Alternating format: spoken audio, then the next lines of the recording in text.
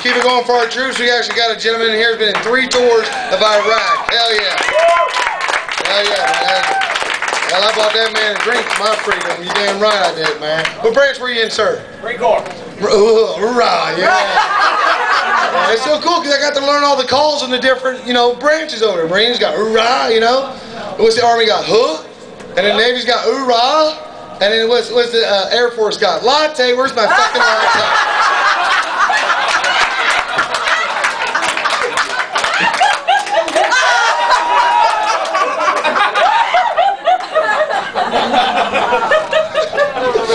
It's cool to be back, man. I couldn't do your job. Thank God I'm a comedian. Because when I was in Iraq, people, I got shot at twice.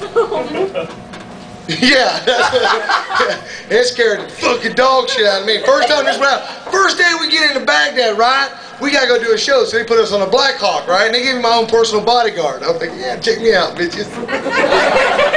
Fuck me, he's got a gun, motherfucker. so my bodyguard goes, where do you want to ride on the Black Hawk? I'm like, I want to be next to the window. I want to take pictures.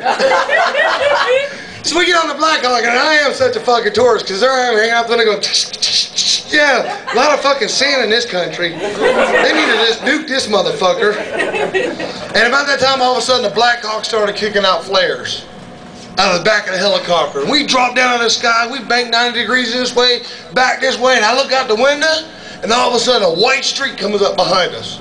They shot a SAM at us, a surface-to-air missile. People, I damn near shit my pants. I, well, actually, it's more like a turtle. It kind of poked his head out, but went back in.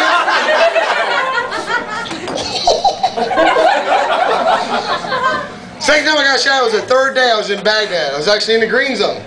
I, well, it was real early in the morning. I had to go take a morning piss, right? Went took a piss and come back smoking a cigarette, and all of a sudden I hear this siren go off, and I'm like, wait a minute, I know that noise.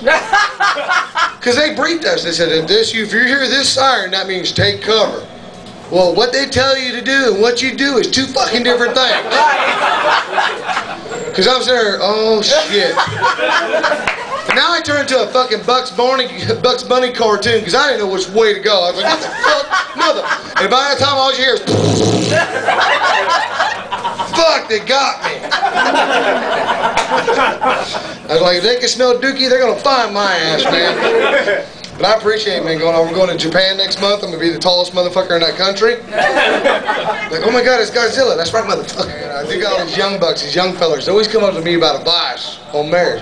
Who's over here engaged? Who, which one of y'all getting engaged? Look at him. He's so fucking happy. Yeah, look at me. After 11 years of marriage, I fucking wake up every morning with a toothbrush and a gun going, one of these motherfuckers is going in my mouth this morning.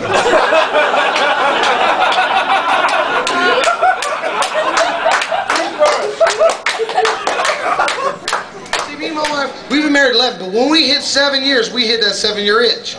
We had to go see a marriage counselor. We walk in a marriage counselor's office, we sit on the couch, the counselor comes in and goes, okay, let's find some common ground you both have in common and we'll start there. Common ground. I was like, he goes, what's that, Mr. Cowboy? I said, okay, well, let's start how neither one of us suck dick. Let's start from there.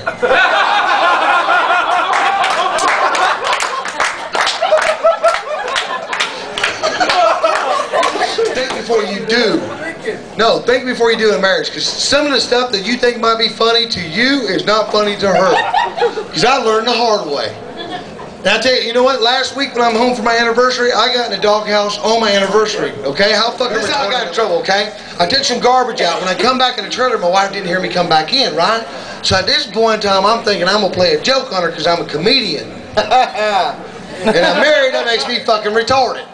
Because this was going to be funny as hell in my head. I was going to sneak up behind her and scare the shit out of her. How funny is that? So I did. I'm like, this is going to be so funny. I'm coming in low and slow like it's some big covert operation, right? I get right behind her. Right when I get ready to goose her in her sides, this is what I hear.